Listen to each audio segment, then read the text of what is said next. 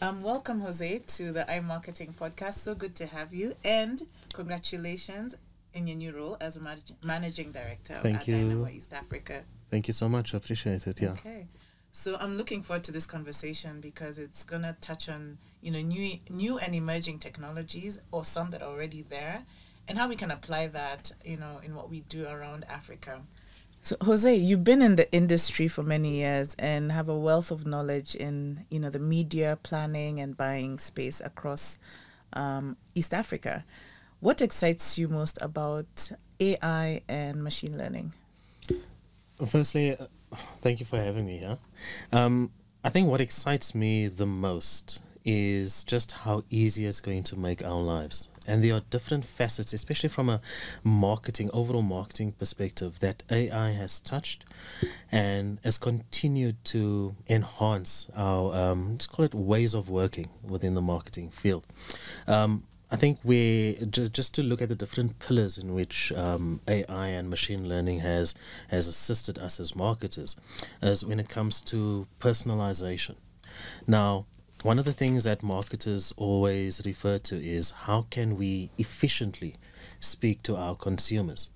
How can we speak to our consumers in a tone that they are um, better that, that is better suited to them? And I think with uh, with AI and machine learning, what it does is that it enables real time um, generation of content. It allows real time generation or optimization of that particular content, um, even from a creative perspective as well as from a narrative perspective. So we are able to using AI and the technology that it, uh, that it brings, being able to more effectively communicate with our audiences, um, and then also continuously um, enhance that. Um, let's call it uh, first touch point as we continue getting uh, user data. And and let's just take a step back. What exactly is machine learning? So, in a nutshell, uh, machine learning is using data in order to enhance and better the overall experience. Okay. So, as an example, if um, I, as a consumer, am interested in, let's call it the BMW brand, or for, for, for the sake of this uh, of, of this discussion, um, a Johnnie Walker brand, Okay. right? I, as an individual, know that I am going to be online um, during my free time, during my lunch, um, most likely um, after work, um, uh, on my way home. And using machine learning, the algorithm would take my user behavior and know exactly when to talk to me, how to talk to me, and what narrative to use in order for me to engage. So, in a nutshell, ma- machine learning takes my user behavior and it would use that information to better communicate with me. Okay. And then how does that differ from AI? So, artificial intelligence, it takes it a step further. Okay. So, as an example, machine learning looks at my habits. Okay. Artificial intelligence takes it a step further by looking at my interests. Okay. It looks at, um, as an example, what am I doing, but also how am I doing it? Why am I doing it? What is happening within either my vertical or with me personally? That, and using that information, artificial intelligence would then better communicate with me. So it's just taking it a step further making it more personal. Okay. And when we speak about personalization, um, you know, we've I'm sure you've heard people saying, you know, is the internet listening to my phone conversations? or, you know, I was online searching for X and then suddenly now I'm just being bombarded or Yeah. followed with ads. Is that what AI and ML do? Yes and no. Okay. Okay, so I, I- I think let me first address um, your first point on us as consumers thinking that the internet is listening. So the short answer is yes. And we don't realize it, but it's happening. We, we almost uh, immune to it. It's become that part of our um, daily lives. Um, we have things such as um, tools and, and technology such as Siri on um, on your Apple phone, um, Bixby on your Samsung phone. Um, when you want to voice search for anything within Google, that is all listening tools. So, by understanding that listening is picking up on key words, and I know this is going to sound like an SEO conversation, but it's to an extent not. Um, in a nutshell, the internet is listening, but it's taking those keywords and those um, long tail keywords and then using that information to give you exactly what it is that you want. So it's all around personalization. I, I cannot stress this enough. It is all around personalization. And personalization is great, but I'm sure brands are wondering how do you do it at scale? Right? How do Yeah. you be able to reach? You know that you know we're all going after mass reach, Mm-hmm. but how do we get personalization at scale? How do these tools help us get there?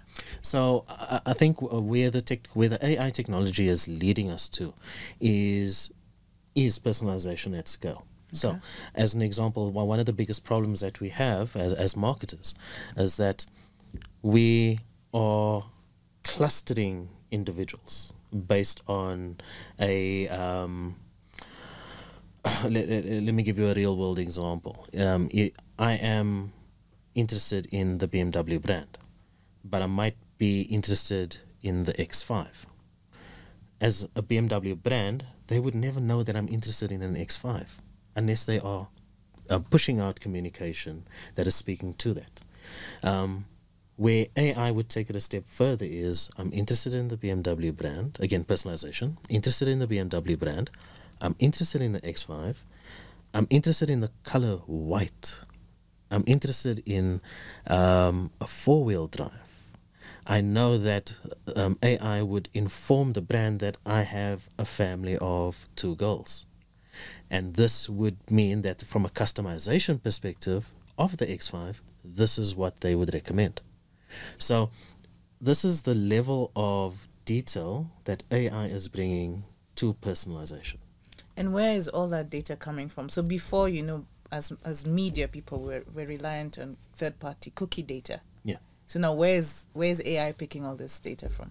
So, as as you might know, um, we are moving. Well, hopefully soon. Um, Google has yet to confirm. We've, we've been saying they've been saying that for years. For years, yeah. yeah, the Um, end of cookie data. But um, so we are moving away from um, cookie data being stored within your browser Right. or on your local machine to um, web-based um, data storage. Right now, with a web-based data storage, it means that the information lasts longer. It means that it's um, unless there is a server purge of information, your data will remain there and it's still relevant. Okay, our user habits do not change to an extent that um, I'm moving from being interested in um, NCBA to now interested in online banking, and, and, and I don't want a local bank at all. So, because there isn't that huge variation of uh, my user behavior, the data will always be true to a certain extent. Okay. So, by uti- now that we have a very trustworthy trustworthy source of information, AI can leverage off that information Okay. um, which means that the information that is being passed through to either the platform that you're doing your media buying in or to the um, DMP of choice of the brand, the information will always be relevant. Okay. So, what specifically, sh- you know, should advertisers be looking to leverage of AI to enhance their, you know, the way they connect with consumers? Um, I know advertisers are always looking for efficiencies. Mm-hmm. How can AI deliver that? So, when it comes to efficiencies, I'm, I'm going to speak specifically on efficiencies and uh, within um, the advertising um, realm. Yeah. Now, efficiency means that, and I'll give you a real world example. We analyze data on a almost um, weekly basis because we know that we need at least a week's worth of data to know that that data is relevant. The um, this, the, the the data pool means that we can actually start making um, uh, business decisions, and that is when we. It's only at that point, after a week's worth of data, that we are then able to um, make decisions right? With AI, it analyzes that data and optimizes on the fly. What it means is that from a, an efficiency perspective, there is less human intervention.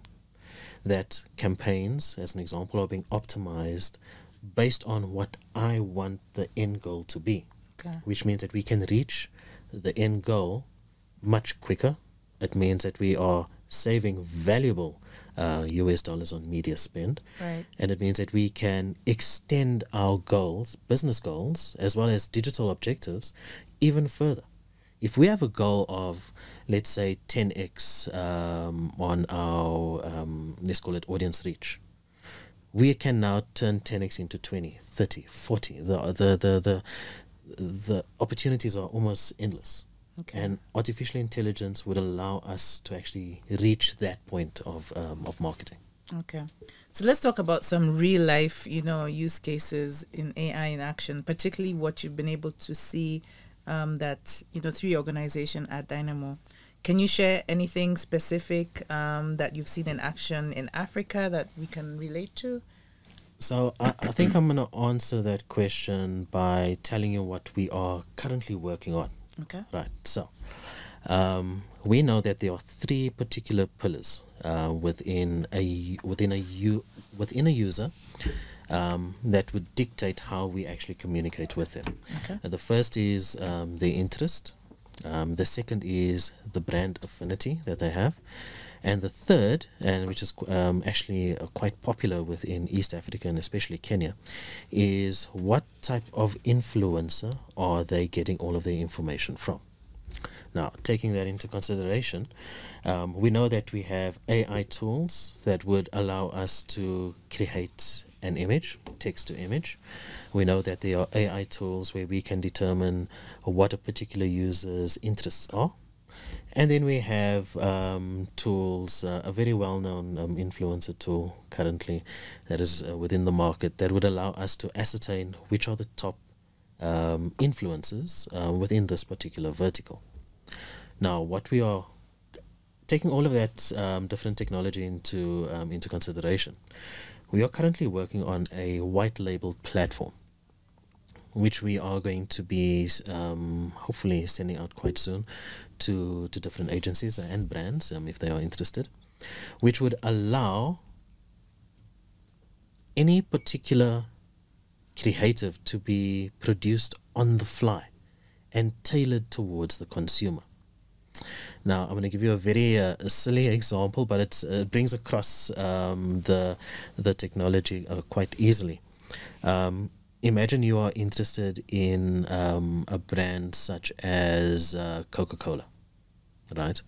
And um, you are Catholic, which means that you have very close ties to the Pope and um, you are following um, a very well known influencer. For the sake of this uh, discussion, I won't be specific on names.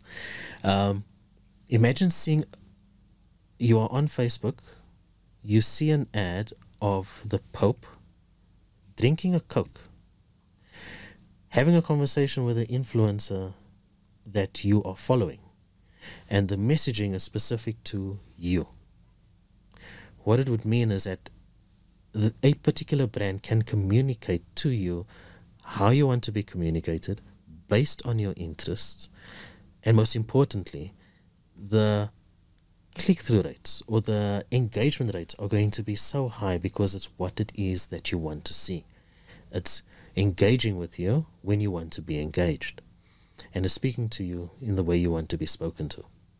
So using AI again, coming back to um, to personalization, um, that's a tool that we are currently uh, currently working on, and I will you'll be the first to know as soon as Thank it you. launches. Looking forward to that. And it's interesting that you you brought in the influencer piece into, you know, this whole thing because um, we know that consumers, people believe other people, Mhm.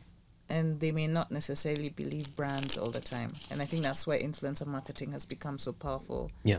Um, but um, my question now, just bringing the the whole AI influence there, are influ- how can influencers leverage the power of AI, um, especially in this in this market, um, in East Africa, in Africa, where uh, while influencer content and influencers are on the rise, I mm-hmm. think there's still another level that influencer marketing needs to get to for it to really be efficient and effective for brands yeah. to leverage. Yeah.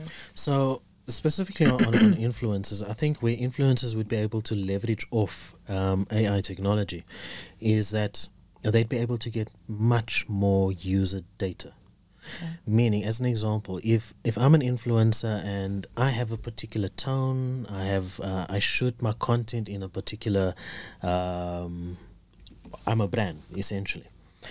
What it would mean is that I now will be able to get more enhanced to user information, which I can then use to dictate the type of content that I'm pushing out. Essentially, what it would mean is that by using AI, influencers has an opportunity to grow their audience.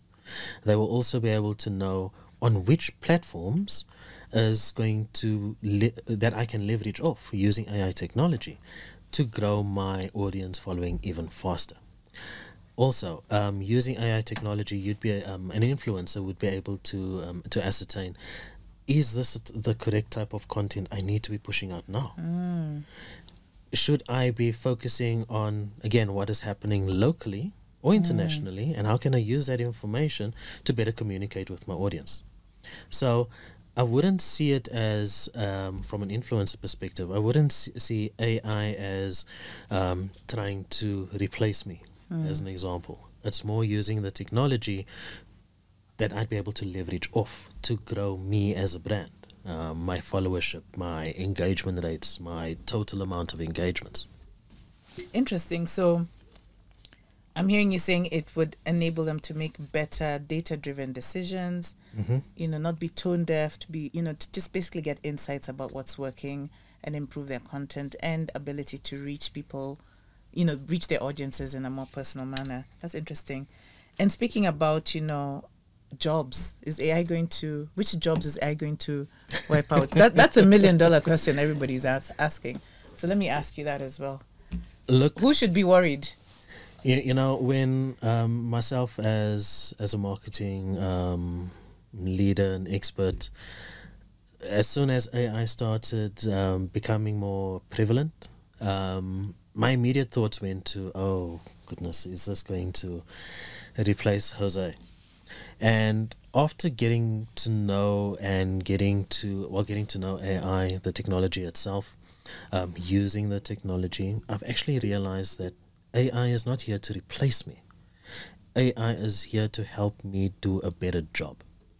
So, as an example, um, when I am when I need to do a particular strategy, for a particular brand across a uh, with um, sorry across maybe different verticals or a specific vertical i would be able to use ai to get a better understanding of that vertical without having to make five phone calls send out 10 emails speak to a third party that has access to this particular data and what would have taken a week or two weeks to do a proper strategy is now taking me one two days what it means is that as a marketer, I am now leveraging artificial intelligence to assist me to do my job more efficiently. I am also raising the bar in terms of quality. My clients now know that if they should ask me for any bit of information that they've never been either um, that that information has never been available to them, I am now able to provide that information and more um, giving my clients further insights, making them aware of whatever nuances is happening at this particular time. And that in itself um, has um, enabled me to do a much better job, to offer a much um, better service, a much um, higher level of service yeah. uh, to my clients. Absolutely. I mean, I, I hear, especially for knowledge workers, that productivity piece is, is something AI is, is going to be able to deliver. But what about for creatives? You know, mm-hmm. um, you've seen a lot of you know artwork being developed by AI. What does that mean for you know designers, animators, create you know basically the creative industry? Well, I think the the biggest point that um, that is where AI is affecting uh, creatives is from a cost perspective. So as where I see the um, the biggest gain for a creative, as let's call it a creative agency, um, utilizing AI, especially speech to to image um, AI, um, they are going to be saving so much money on firstly sourcing the creative content. Um, they're going to save so much time on actually developing the creative content, um, and they'd be able to use all of those we're using AI from a creative perspective and we all know that this is currently a, quite a big issue in Kenya, is getting the creative out efficiently and on time. Why did you call out Kenya? Tell us. The, the, the marketing what, is, what has been your experience with creative delivery? Um, with, with without being too direct, uh, be direct. And the and the industry is quite small, so I need to be very careful of what I say. You don't have to name any names, but no. What have you seen? What has what have been the challenges? The the biggest challenge has been from brief to conceptualization to actual creative rollout. Yeah. AI will assist from con- from um, brief to rollout it does the conceptualization piece automatically. Because you'd be able to, as from a creative perspective, tell artificial intelligence, this is what I want. And what you want from a creative agency is already briefed to you by client. So, from that perspective, what would have taken two weeks, three weeks is now again taking a week. And the longest part I feel from during that entire process is going to be advertiser approving the content. Because the amount of content you can now produce within the same period of time is going to be triple quadruple what you have been doing currently. But let's go back to the briefing. You know they say garbage in garbage out. And yeah. you know let, let's call it a spade a spade. Our you know the brief you know mm-hmm. the way briefs are written um, not you know in various industries is not always adequate yeah. to a point where when you see the finished work i question i'm like what was the brief in the first place mm. so how can ai also help brands write better briefs so i think it all depends on who is adopting ai technology first so you have your brand and then you have your your agency as an example right? Now, if brand is adopting AI quicker than what agency is, and if that's the case, that's a big problem. But if that is the case, AI would be able to assist brand in delivering better briefs, more um, in detail briefs. Mm-hmm. Because now, from a brand perspective, you'd be able to align your digital output based on your business objective. Right. And because you are using AI, you are being more in detail to how to achieve your brand objective via your digital communication. As all via your marketing communication sorry. Right. So taking taking that into consideration briefs are the level and detail of briefs are automatically going to go up a couple of levels. Because now i am being extremely granular in my brief it is directly speaking to what I need to achieve from a business perspective. And as soon as an agency uh, whichever um, entity receives that brief, they know exactly what to do. So there's efficiencies across the board. Um, and because of that efficiency, it saves time. It means that if something is not working, um, in that brief, you can quickly, while you are being, you are agile enough to make um, any particular decisions on the fly. Yeah. I certainly hope that's you know what we'll be able to see and yeah. um, as we roll out AI. Okay, so speaking of content creation or content development, then how how does AI or even machine learning help with now optimization of that content? Because mm-hmm. again, at the end of it of the day, uh, optimized content is usually cheaper for media to run, isn't mm-hmm. it? You get your efficiencies. And from an effectiveness point of view, it would have more impact to the end user. Mm-hmm. Yeah. Yeah, so I think it's you also need to look at what the current process is from a content or well, content and creative perspective and how artificial intelligence would be able to make it more efficient. So as as a marketer, as soon as a campaign starts rolling out, right? You then start analyzing the data. As soon as you start analyzing the data from a creative perspective, you then understand what is working and what is not. Generally, you have between three, four, five different pieces of content that you are um, punting to the industry or to the market um, at, at a particular time. And based on the creative performance, you would then get a better understanding of this is resonating with my audience and this is not. So what should what should you be looking for as a marketer to understand if it's working or not?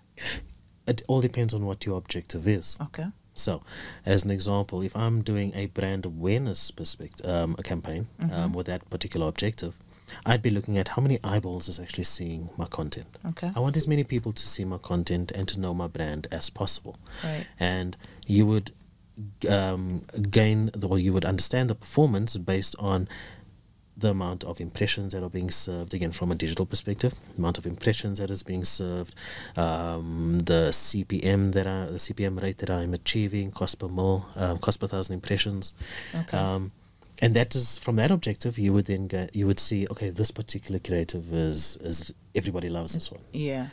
then from And like how long should you wait once you start running? Is it after three days, a week, a month? Without so if you're only implementing artificial intelligence from a creative perspective anything between three days and a week business week Okay. would suffice Okay. however and however if you are implementing ai from a campaign perspective anything more than two days is sufficient Okay. again this is what AI brings to the party in terms of efficiency. It means that it can be extremely granular in its in its data um, an analysis, um, but uh, specifically on creative, right? As soon as um, you have that um, data um, data pool, um, uh, data information, you'd be able to then using AI create or um, yeah construct creatives on the fly meaning this is my input, this is what I need. This creative is working, give me two or three versions of this which is working, which means that you are giving your audience what they want, what resonates with them. Right. Right. Interesting. Um, you've shared, you know, a, lot of of a lot of information around AI. Could you tell us what what do you do personally to stay current on these, you know, new and emerging technologies? What advice would you give to, you know, not just a young upcoming marketer but even experienced marketers on staying on top of things? Yeah, so this is something that I've been um, doing for as long as I can remember, and I make extensive use of Google Alerts. So, as an example, um, via Google Alerts, I would ask Google to pop me an email as soon as within this particular market, within this particular field, this keyword is um, is tagged or hit. Um, Google Alerts would then send me email me a list of five six different links to the information that I actually want. Um, to give you a, a very simple example, if within Google Alerts um, I entered or ask Google, listen Google, I want to be told as soon as um, the VAT percentage increases in in Kenya. Um, what Google Alerts would do is that it would scour the internet uh, or the content within Kenya, um, specific to Kenya, and looking for these particular keywords. And it would immediately send me an email on, well, based on the frequency that I want, it would send me um, an email on the most latest um, technology, um, the most, sorry, not technology, the most latest link to the content that I'm looking for. Right. Now, this is what I use from an AI perspective across creative, across AI as a whole, machine learning. Um, oh, there's so many different um, AI lists that I currently have, but that is what I use to stay current. Um, I don't know when the content is going to come out, so I use I leverage off Google. Um, Google's algorithm to send me the information when I want it, um, and how, as frequently as what I want it. Yeah. That's that's that's that's very smart. I, I use Google Alerts, but not to that extent. So I'll definitely be adjusting my my keyword searches. Okay, so if we think about um, the application of AI in our African markets, which I, I believe is still in you know the early stages. Um, what do we need to do to make sure that the the the, the platforms we're using in around uh, generative AI are relevant to what our audiences, what our consumers, what our brands need here in Africa? I think what we first need to ascertain is how how can AI be applied to our daily lives? And th- there needs to be, as you know, as marketers, we know that there needs to be demand and then supply. And currently, AI is at that point of there is a demand, but currently not that much supply. Mm. Um, as an example, we all want to buy 4K TVs, Mm-hmm. you know, up to 4K resolution. But is there enough 4K content? Mm. You know, it begs the question of, am I actually, or what is the point of buying this? Is it a van, is it a vanity purchase? Right. You know, so using that type of analogy or reference point, we all want to use AI, but how is it being implemented? We all have these amazing ideas, but how do we bring it to fruition? So I, know I'm, I'm I'm being very gen, uh, generic or general in my in my in my response, but the the crux of the of the matter is with artificial intelligence is that if we are not uti- utilizing artificial intelligence well um, and responsibly, the demand for AI is never going to be quelled. it's never going to be satisfied, and technology needs to, or the output of the technology needs to um, advance to the point where we can actually see the efficient benefits. And believe it or not, AI is not only restricted to the digital, you know, realm. You know, um, things such as uh, banks are using it for fraud detection Mm. um, as an example, right? And it all got to, it, it all has to do with, you know, efficient usage of AI technology in our daily lives that would be able to supply the demand. Okay. It, it reminds me just going back, um, probably, I don't know, many, many years ago, where Google in Kenya uh, used to pay content creators like newsrooms to create content so that they could be local content. When you went online and Googled, you know, this is probably like 20 years ago, Mm. and Googled Kenyan news, um, then nothing would really come up. You'd be redirected to an international site. So at that time, Google actually went to a lot of the publishers in Kenya and said, um, let's partner so you can create content and put it online. Because most of the publishers or the newsrooms were offline. They were on radio, they were on TV, they were on print. They hadn't prioritized going online. Yeah. Is that something that we need, like, is is that something like we need to do as well in Africa? What, you know, deliberate efforts do we need to make so that it's contextually it's relevant for us?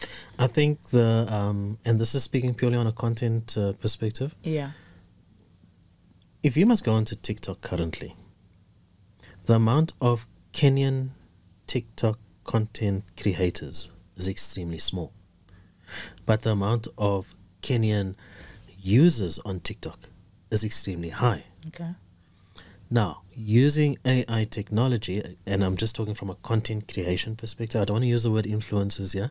It's, we are all content creators. Yeah. Um, using AI to push out content more efficiently, but also more relevant, would be able to, again, supply the Kenyan users with Kenyan content. Okay.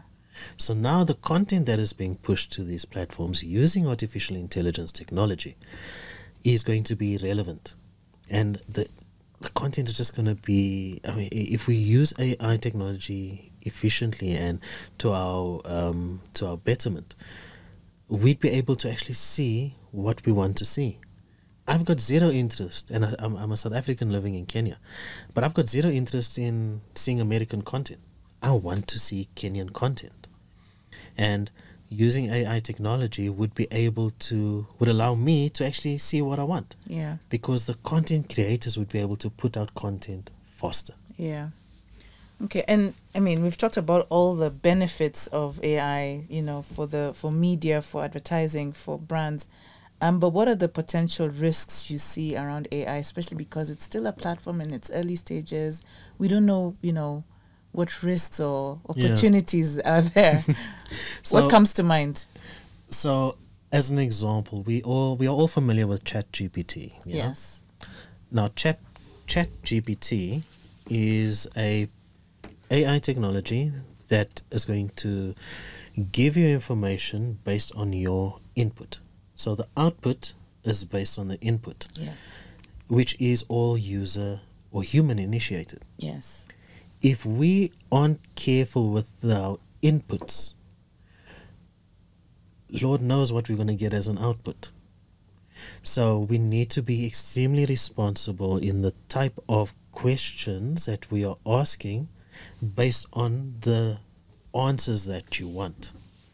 So there needs to be very, very clear lines of, you know, being responsible, um, and also to an extent, uh, to, to, to, to, to, an, to an extent, um, just using common sense when it comes to using AI technology. And speaking of input, um, you know, one of is is it a risk where maybe you'd be putting in maybe your brand or you represent an organization and you're putting in content that is confidential? Maybe yes. it's your business plan. Exactly. Is that a risk?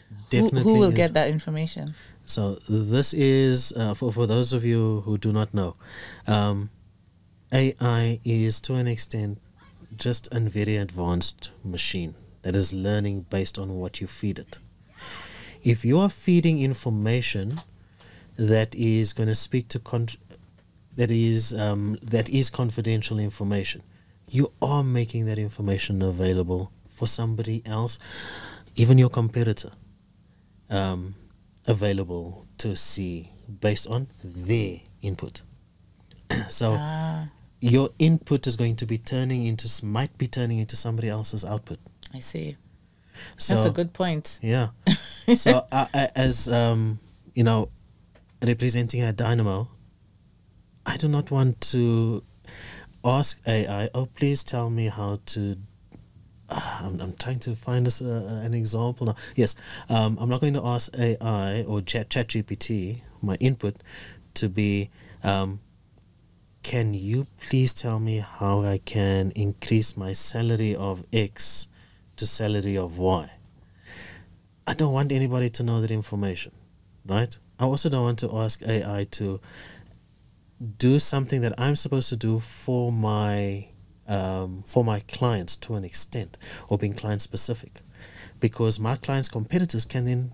So, how do you make sure your employees, if you know, your business owner, your employees are not going into ChatGPT and putting in company confidential information to help them do their work better? So that's the risk. Yeah, we talked to legal about that. Yeah, um, yeah. As uh, as an organization, we need to be. Um, we need to be responsible and we need to educate um, our team members. Yeah. Um, we need to educate the industry on how to use ChatGPT responsibly. Yeah. Um, a lot of big organizations are creating their own company specific ChatGPT because they know that the information, any confidential information, will stay within the company. Yeah. Um, you do not want to run that risk at all.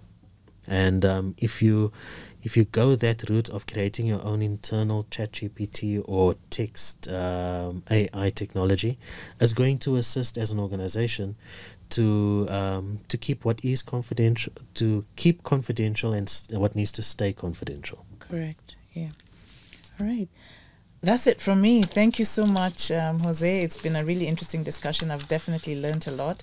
But wait, we have one more question from mm. our very, very amazing producer. Mm-hmm. Uh, describe the future of advertising using AI in Africa with one word. It's a word that we've been using quite often um, during this pod, uh, during this discussion. Personalization. That yeah. is one word that I think is going to resonate for the next f- three to five years uh, within the marketing space um, the one actually it addresses the biggest problem that we've had is how personal can we be with our communication. Now we have a tool that would be able to do it for us on the fly, based not on what we think, but based on user input, based on user behavior. So yeah, everything is going to be personalized. Fantastic. So let's drink to that. Asante sana. Cheers. Asante sana.